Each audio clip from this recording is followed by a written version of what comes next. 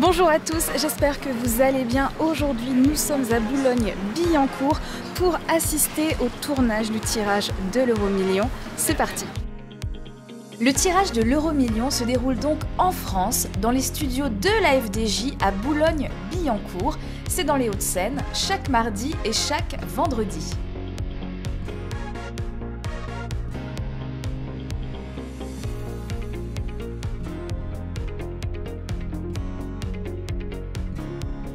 Les opérations démarrent vers 16h30 et plus de 40 personnes sont mobilisées.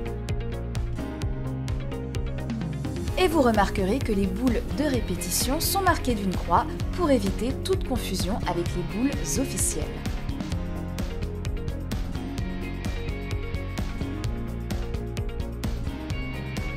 En parallèle, la présentatrice du jour, Marion Jolès-Grosjean, enregistrera plusieurs séquences tout au long de la soirée dans les conditions du direct.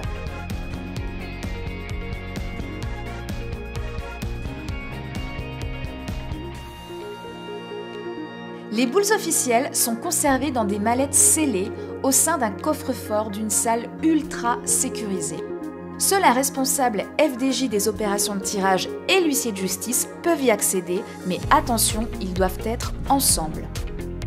Les boules pèsent 65 euh, grammes et elles font environ 5 cm de diamètre. Elles ne sont pas strictement identiques euh, au dixième de gramme près. Évidemment, il y a une petite marge de tolérance, euh, mais l'idée c'est qu'elles rentrent tous dans cette marge de sorte à ce qu'il y ait une homogénéité et une équiprobabilité euh, de chance de sortie. Les boules sont contrôlées euh, deux fois par an par un tiers certificateur. Donc on contrôle leur poids, euh, leur faculté de rebond, on les passe au rayon X pour s'assurer qu'il n'y a pas de corps étranger à l'intérieur et on mesure évidemment aussi leur, leur, diamètre. Alors les boules officielles avant le tirage sont toujours mises dans l'ordre numérique, donc de 1 à X numéros, et elles sont toujours mises deux par deux. Les brassages des boules sont, euh, j'allais dire, sensiblement les mêmes euh, à chaque fois, puisque c'est des déclenchements automatiques. C'est-à-dire un opérateur va déclencher une séquence de tirage et à chaque fois le, cadencement est le même pour la sortie des bouts. En cas de, panne, évidemment, ça peut arriver. On travaille avec des, machines mécaniques, donc la panne est toujours possible. Nous avons ici sur site,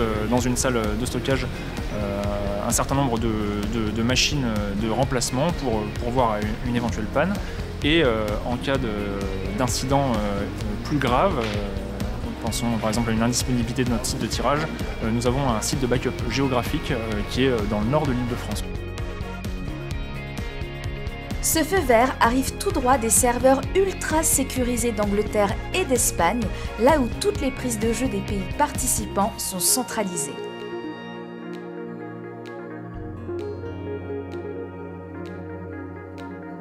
Les serveurs anglais et espagnols mettent une quinzaine de minutes pour vérifier si la cagnotte a été remportée et en cas de gagnant, le nom du pays sera communiqué à l'antenne par la présentatrice.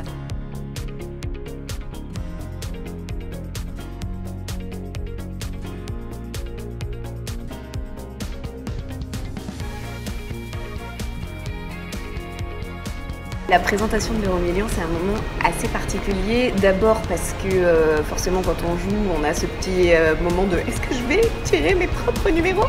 Et puis, euh, et puis on pense forcément aux gens qui sont tous devant leur télé et ça bouleverse une vie entière.